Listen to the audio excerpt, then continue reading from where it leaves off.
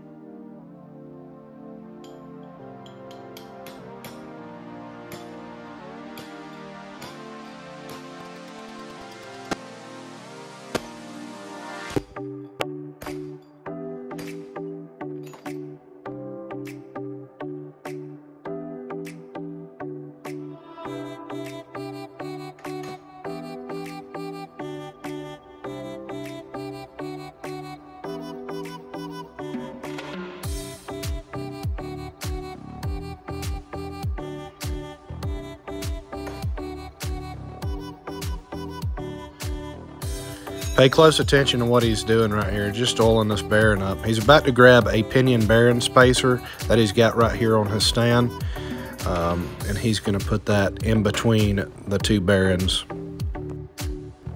That's what's used to set the preload on these pinion bearings. Uh, they make different sizes. You just got to get it right until you have slight drag, like you'll see here in just a minute. Just slight drag on those pinion bearings there.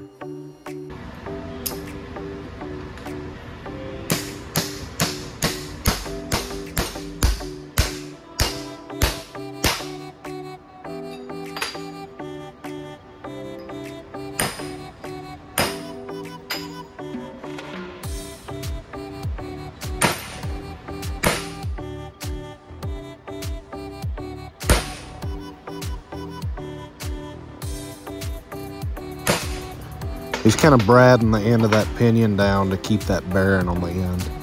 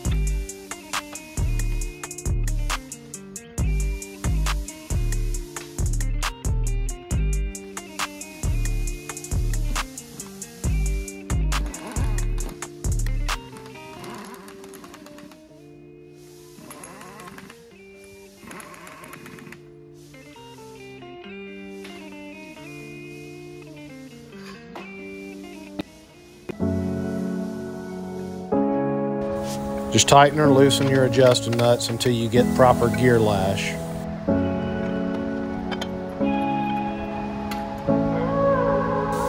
Good number to shoot for is about 12 to 15 thousandths.